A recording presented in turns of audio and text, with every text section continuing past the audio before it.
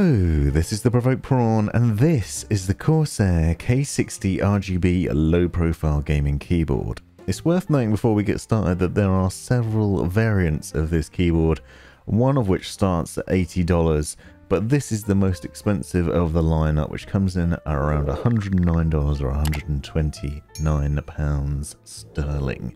This because this sports the Cherry MX speed switches, whereas the other variant uses Cherry's Viola switches for a more affordable setup. But this is an interesting gaming keyboard and this is an unboxing video where I'll be talking to you about what this keyboard's like to use and the highlights of it, which include, as you saw at the beginning, some very nice per key RGB lighting which can be adjusted within the iCUE software and I'll show you that a bit later on.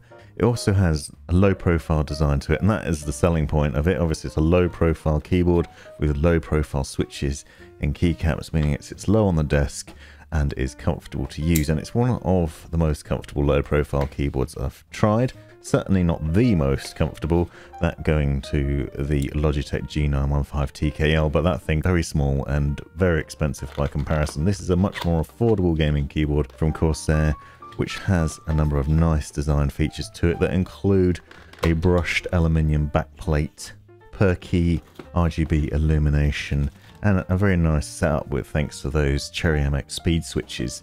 Those have a 45 gram actuation force, just one millimeter of actuation distance, and they're guaranteed up to 50 million keystrokes. Now when I first got it out of the box, as you'll see me doing now, I wasn't that impressed. It doesn't look that great. It's worth bearing in mind, obviously I've checked out the K100 recently, which is far more premium, much more expensive keyboard. That's at the top of the list of flagship keyboards that are available now. And the K60 is obviously a lot lower down. It's more of a budget-friendly keyboard. It's not the cheapest keyboard around either by any means. But that doesn't mean it should be dismissed. It still has the number of nice features to it. As I said, it has that brushed aluminium backplate. You also have easy access media keys buried within the function keys. Nice overall look and feel to it with a flip up design. And again, it's worth noting that this is the UK layout. There's also a US layout. So if you notice a small shift key and a large enter key, that's because this is the UK variant. And here you can see the speed switches, which I'll be showing off a bit later on as well. I'm also going to do a separate video so you can hear the key actuation sounds when it's like to type on. I'll leave a link to that in the description. Essentially, it's not too obnoxious and not terribly loud, but not super silent either. So it's resulted in a pretty nice gaming experience. I've actually been using it when I've been streaming recently and I found that my mic hasn't really picked up the sounds of the keys, which I think is a good indication that it isn't aggressive in terms of the noise that it gives off. It is also worth noting that I did have some problems with this keyboard initially, to the point that Corsair had to send me out another one, and I'm not really sure what was causing them, but I had some very intermittent problems where I couldn't use the Windows key and the media control playback buttons weren't functioning properly. It was intermittent though, and the new model they've sent me isn't a problem at all. One other thing that I've had is an issue with the RGB lighting, where it got stuck on red and wouldn't change colours then I changed USB ports and it suddenly worked again. Then I turned my PC off and on again and it'll be back to red. It was very strange. I actually worked out what the problem was there.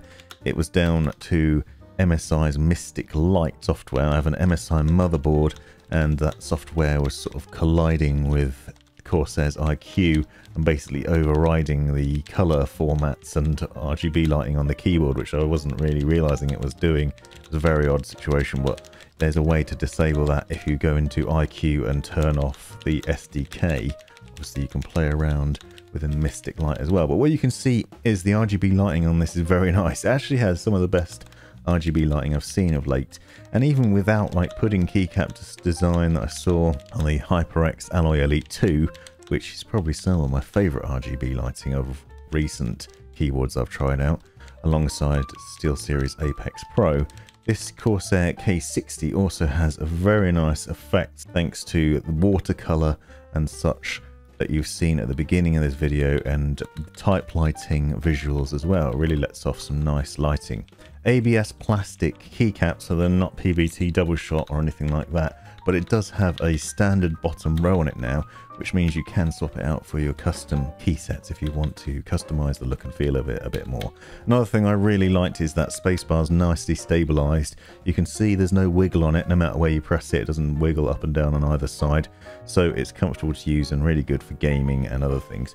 You'll see there's no extra buttons, there's no macro keys, there's no dedicated media keys, which is a shame. You can see them buried up in the F9 to F12 buttons. You have to press a function key in order to access them. There's also a Windows lock key on F1 and you can adjust the RGB brightness with F3 and F4. Also, there's meant to be a setting which allows you to press the function key and then number keys in order to change the RGB lighting, but I couldn't get that to work properly. Uh, I found I was adjusting the lighting within Corsair's iCUE software, but that's pretty straightforward and easy to do anyway, and I'll show you that a bit later on.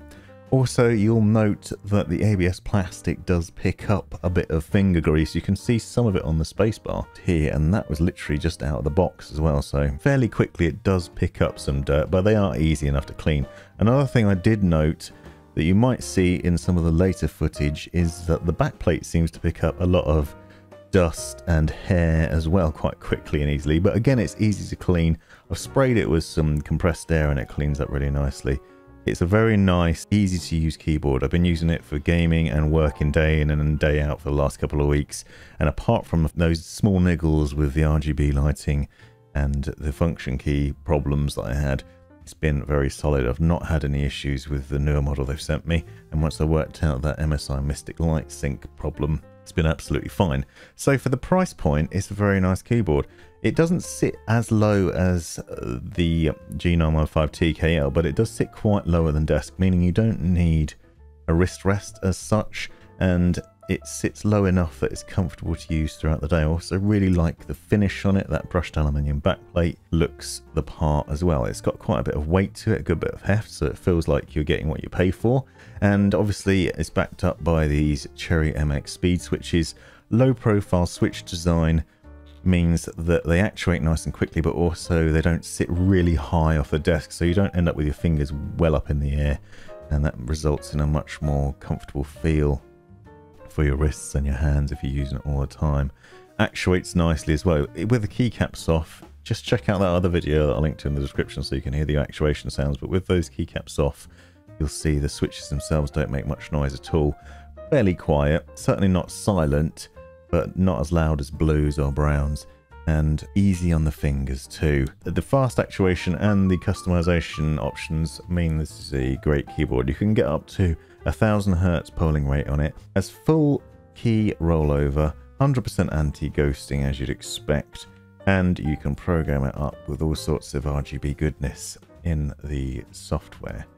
Now, the keycaps, as I said, not PBT double shot, but they do let through a good amount of RGB lighting, a surprising amount actually, and it's very nice in that way.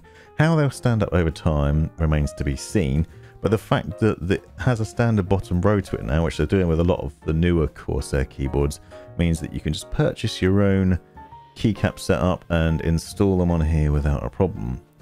I just recently did something similar with the Corsair K100 where I bought HyperX's pudding keycaps and installed them on that and that looked absolutely amazing. I reckon if you put a custom key set on this or even a pudding keycap set you'd make even more of that RGB lighting and you could really make this stand out. But as you can see from the few shots that I've got with the RGB lighting turned on, it looks really nice. I was really surprised by how nice it looked. Really liked the watercolor feature of it, a sort of side to side design on the desk too. You can see it glowing nicely here next to my Go XLR with the case in the background, a light on that as well. And obviously, because it's a Corsair product, if you have Corsair fans, Corsair RAM, you can sync it all up within iCUE as well. And the result is a very nice setup on your desk. And here we are in Corsair's iCUE software. As you can see, the K60 RGB Pro low profile is here and easy to access. We can quickly just jump into that. And then you get to see the layout of the keyboard and what it looks like as standard. On this left side, you then have access to a number of different menu actions and things that you can do. So an action, if you click on this plus button, allows you to then do all sorts of things. Down the bottom, you'll see here you can set up to record macros, launch applications, set timers, set up enhanced keys, mouse buttons, keystrokes, all sorts of things. You can remap any key on the keyboard to do other things that you don't want it. If you want it to do something different, you can disable it. So let's say, let's just disable the caps lock key. Now that doesn't work. Means I can't use caps lock, which is actually very handy because I don't like shouting. So that's worth doing. The other thing you can do is you can easily record macros and you'll see there's a thing down here allows you to just click on that and then record a macro. It's worth noting that you can do it without delays as well so we can uh, set it so it's not recording delays. So if we just click to record a macro and I'll show you what I mean. Hello this is the provoked prawn. And I have accidentally left a caps lock on and made a few mistakes in this type in if we just click to stop you can even go back through and delete out your errors. So you can see they're all listed individually. And then you just have the option to delete all events or delete a selected event. So if we say, where is my errors?